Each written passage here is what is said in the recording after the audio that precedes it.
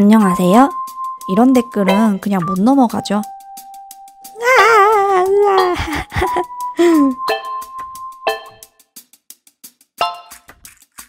달라진 게 있다면 제 얼굴 살이 찐 거?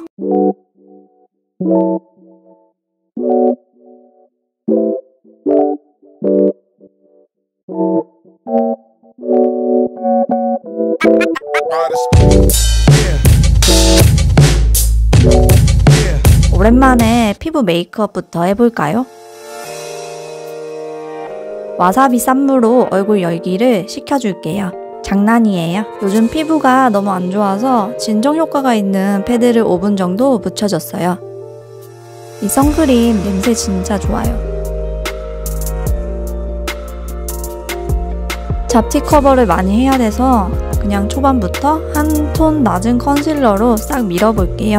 파데보다 컨실러를 먼저 사용하면 컨실러 특유의 텁텁함이 덮여서 좋은 것 같아요.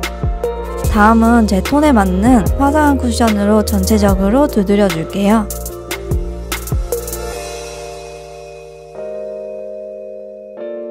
여름철 즐겨 사용하는 파우더예요.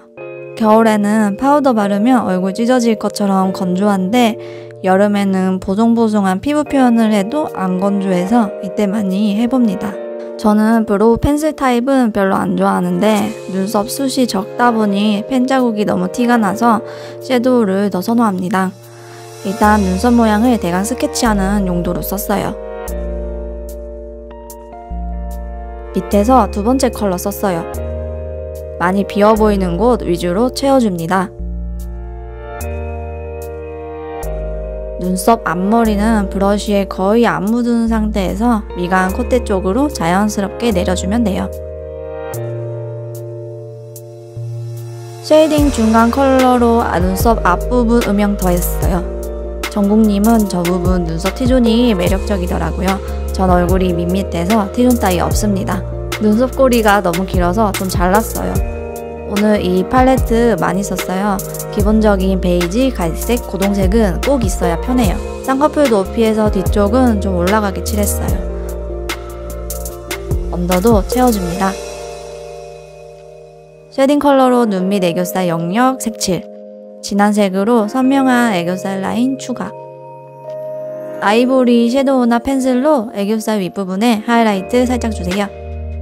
최근 정국님 사진 찾아보니까 메이크업이 굉장히 natural해져 있거나 기존 메이크업 스타일을 고수하고 있어서 거의 눈화장을 안 해야 하더라고요. 왠지 제가 뭘 참고했는지는 아무도 모를 것 같네요. 아, 이 아이라인을 갈색으로 했었어야 했는데 너무 검은색이어서 아쉬워요. 고동색 섀도우로 라인을 살살 풀어줍니다. 저는 정국님 메이크업 거의 안 한 모습을 좋아하지만 오늘은 무대 화장 참고했고요. 아이 메이크업은 이걸로 끝입니다. lip은 glitter가 좀 박힌 제품 사용해봤어요. 바를 때 glitter가 좀 느껴지는 기분이었어요. 그래도 색상은 natural하고 마음에 들어요.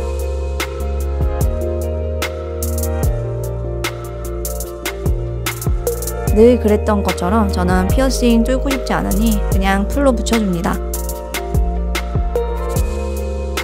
전 약간 제이홉님을 더 닮은 것 같기도 해요. 약간 아쉽지만 재밌었어요. 보고 싶은 메이크업 댓글로 달아주세요. 감사해요.